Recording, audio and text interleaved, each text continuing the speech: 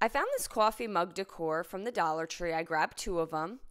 And what I liked about it is it has the stand on the back side so it can stand up. And when I saw it, I thought it would be the perfect coffee bar decor. But I didn't really like the pattern. So what I'm going to do is I'm going to remove the paper from the front.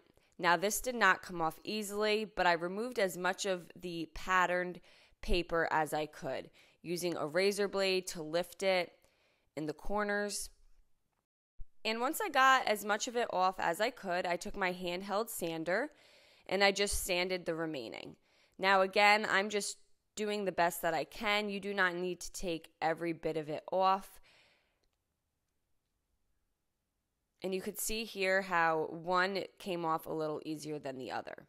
Once I removed all the sanding dust, I'm then going to use my Wise Owl white primer. This is great coverage. You would never even know that there was paper underneath here. And I covered both of the fronts of each of these with the Wise Owl white primer. Once that was fully dry, I took my painter's tape and I'm going to tape off the top on one and the bottom on the other.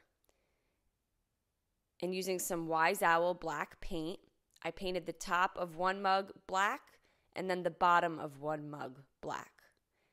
Now, the primer is still important as this is what's going to cover what was left underneath. Now, as we move through this project, you do want to make sure all of your steps are fully dry before you move to the next step. So once my Wise Owl Black dried, I taped off the top and I took a little bit of the General Finishes Antique Walnut Gel Stain. Now this is not going to grab like it would on wood because I have the paint underneath.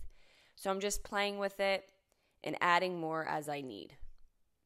And then I have this little wood heart that I'm going to gel stain as well. Then I took the other mug and I just gel stained the top of that. You can put a little bit of heat to it, it helps dry it a little quicker, and then apply more to get a darker coverage. Now, this next step's part of my recording cutout, but what I did is I took a piece of painter's tape, placed it in the center, and then I have these stickers. They are black. It does not matter the color of your sticker.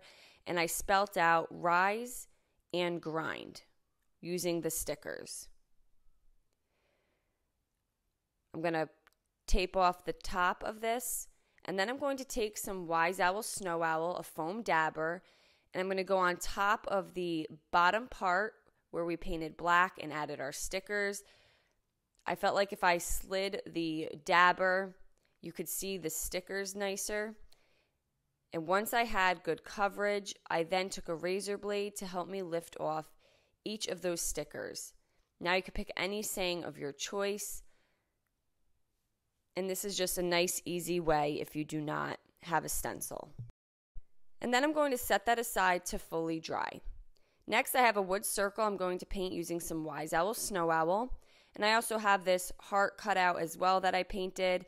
And now I'm going to glue my pieces together. I put the one heart on top of the full stained heart using some hot glue. And then I glued that into the center of the circle. And then this is going to go on the second mug that we painted.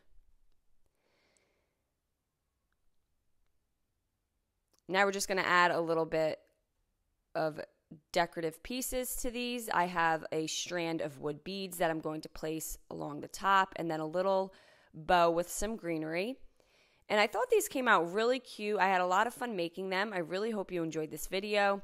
Paint products, tissue paper, transfers, and mesh stencils can all be found on our webpage at chalkitupfancy.com. And don't forget, you can check out other tutorials over on our webpage. Have a great day.